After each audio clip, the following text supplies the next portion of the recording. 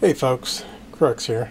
So it's been ages and a half since I've had any sort of update, but uh, uh, been making some progress on Project Hathor, which I kind of abandoned about a year ago.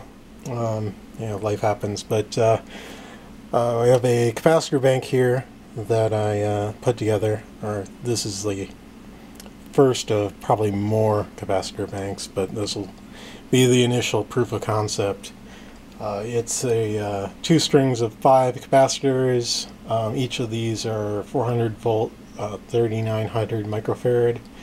So that gives me a 2000 volt capacitor at 1560 uh, microfarad. Um, the idea of this is going to be for a ring launcher, uh, which is a uh, form of impulse generators. So we charge up the uh, bank of capacitors with a microwave oven transformer that's uh, been uh, rectified to uh, DC. And then uh, once it's charged up, um, we discharge it through a coil of wire uh, that we have a hard drive platter sitting on top of. So that'll create a big magnetic pulse, which then uh, forms current in the hard drive platter, which then creates an opposing magnetic field, and you end up getting a hard drive platter that shoots way up into the sky. Uh, one of the things I need for this, though, is a contactor, and those are kind of pricey and hard to come by.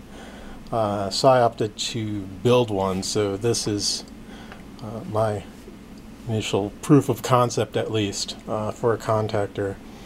Uh, so it's been driven by a uh, 12 volt uh, solenoid. Uh, I have two tungsten electrodes here and it's set up so the contacts can be adjusted so they're close but don't actually touch.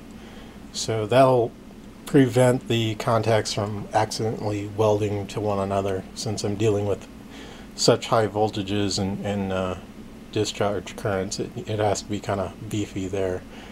Uh, but it is working.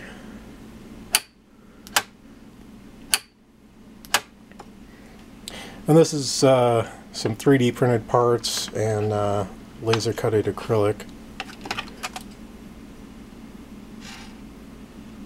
And it looks pretty nice.